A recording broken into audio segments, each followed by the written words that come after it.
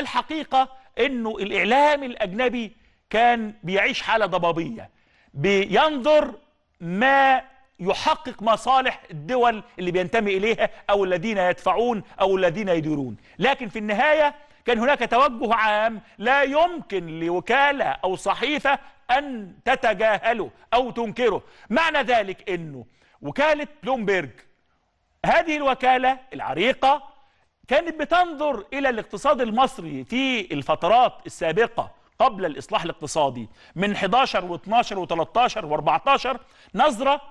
هنشوف مجلس الوزراء مركز المعلومات قال إيه؟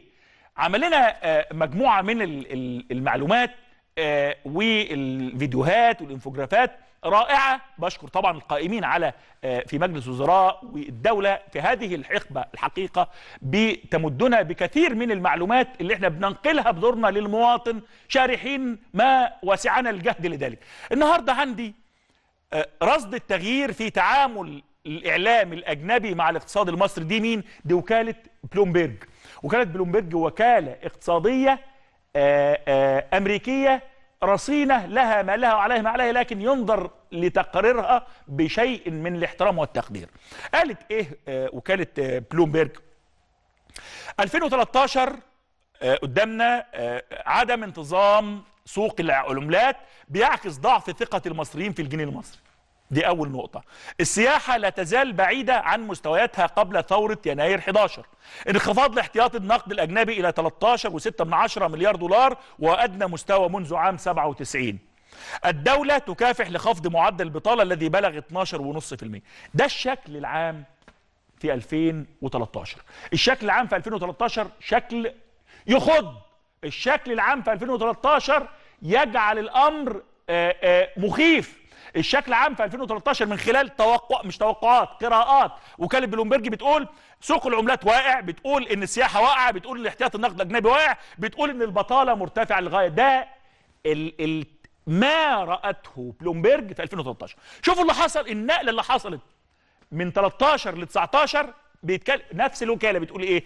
الجنيه المصري هو الأفضل ضمن الأفضل أداء في 19 بين عملات الأسواق الناشئة.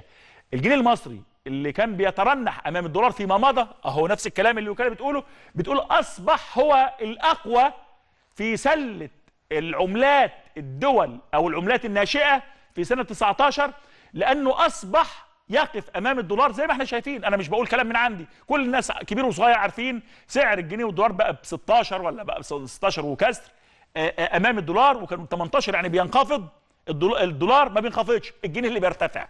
تاني بقول الدولار لم ينخفض قيمته وإنما الجنيه اللي ارتفع قيمته. ارتفع ليه؟ لأن هناك إصلاحات هيكلية في الاقتصاد. اثنين السياحة المصرية تتعافى وعرض ايراداتها للارتفاع مرة أخرى وقلنا إنه تم آه، اعتماد السياحة في مصر والفرص السياحية في مصر على إنها الأسرع في العالم. وقلنا هذا التقرير وكان صادر من الأمم المتحدة.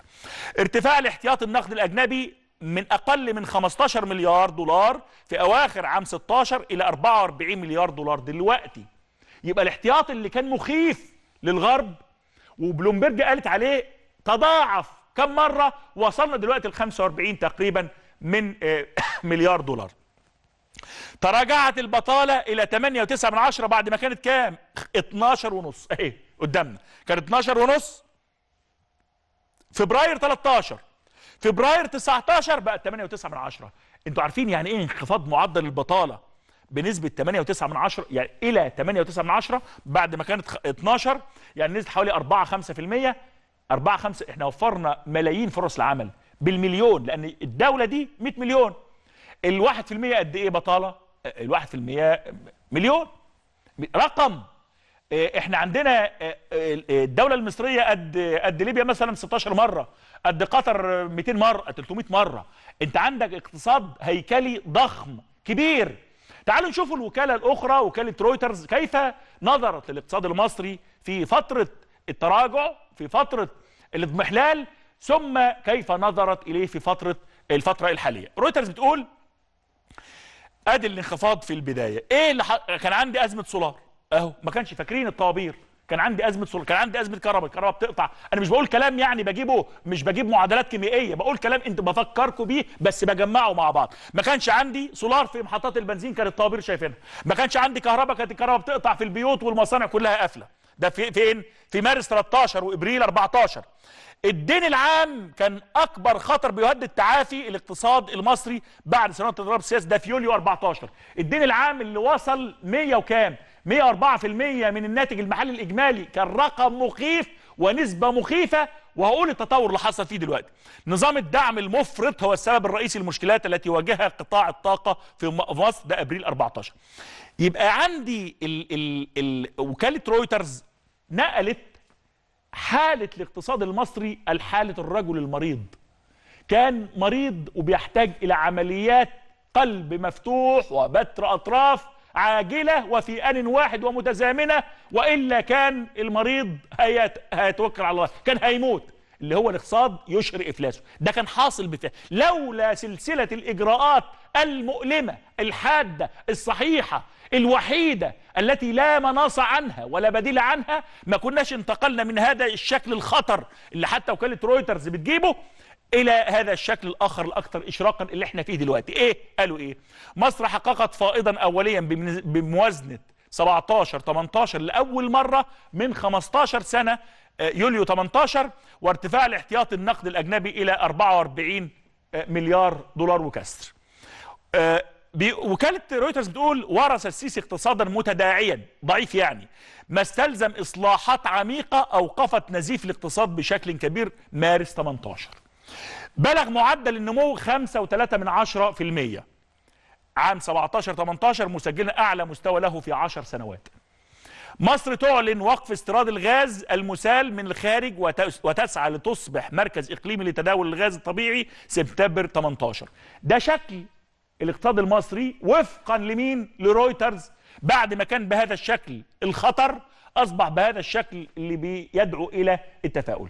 آه عندي آه دي وكالة أنباء رويترز وجبت لكم آه آه دي فاينانشال تايمز آخر آخر وكالة عشان أنقل كيف تعامل الإعلام الأجنبي مع الاقتصاد المصري هبوطا ثم صعودا. الفاينانشال تايمز قالت في يوليو 13 استمرار تراجع الناتج المحلي الإجمالي بعد ثورة 11 ملايين الأشخاص أصبحوا بلا عمل وهو وضع لم يتحسن منذ ثورة 11 تباطؤ حركة المرور عبر قناة السويس أحد أهم مصادر الدخل المصري. لم تعد مصر قادرة على سداد قيمة الواردات بسبب نقص العملة الأجنبية. ده كله في إمتى؟ في 13 الوضع كان وضع صعب للغاية. إيه اللي حصل؟ شوفوا الجديد.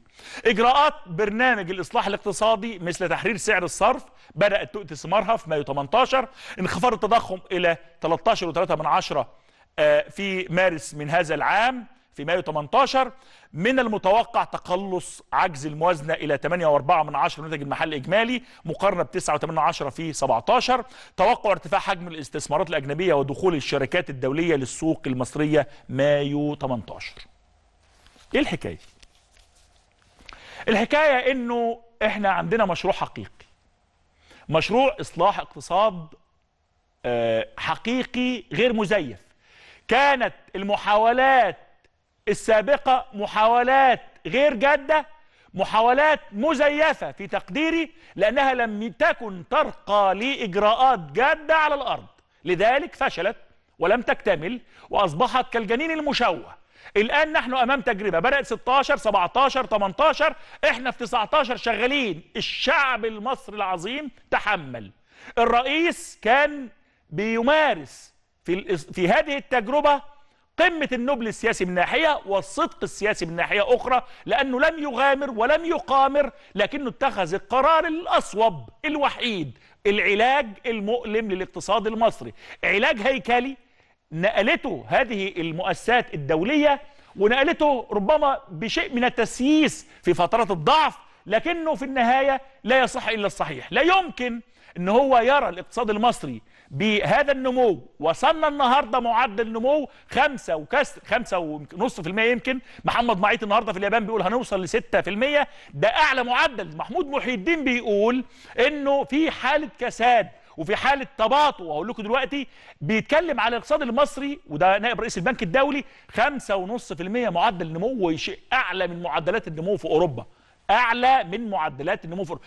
ما جرى خلال السنوات الماضية اقتصاديا يدعو للفخر استمعت إلى رئيس البنك الدولي وهو يتحدث ويقول أتباهى بتجربة الإصلاح الاقتصادي المصري أمام كل دول العالم لأنه هذا الرجل يقصد الرئيس السيسي زعيم يعمل لحساب شعبه لا يحمل فواتيرا لأحد. هذا الكلام قيل على لسان رئيس البنك الدولي. كريستين لاجارد رئيس الصندوق الدولي قالت مثل هذا الكلام أكثر من مرة تشيد بالتجربة تشيد بتفاصيل التجربة تشيد بنتائج التجربة. صندوق النقد الدولي والبنك الدولي مؤسسات التمويل الدولية مؤسسات إعادة تقييم الاقتصاد والملاءة الائتمانية.